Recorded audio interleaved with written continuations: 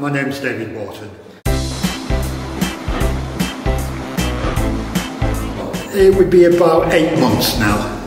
Uh, well, I came for a visit to start with uh, and decided I want to be a volunteer uh, as a result of that visit. Uh, so the following Wednesday I came along and I was met by uh, Martin, our chairman, uh, introduced to the team and basically I was left to find my own way round to have a look at all the aspects of the, uh, the cottage and um, I eventually decided that I wanted to join the gas engine team, uh, which uh, I've been doing now for about six months.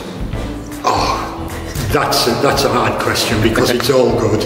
Uh, I've the comradeship, uh, teamwork, the fact that when I first started here, I was just I was introduced to the team and I was accepted with open arms. I have no technical qualifications whatsoever.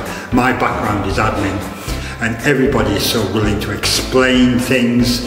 Uh, I'm learning every time I come. I'm learning something new and my technical skills have increased massively.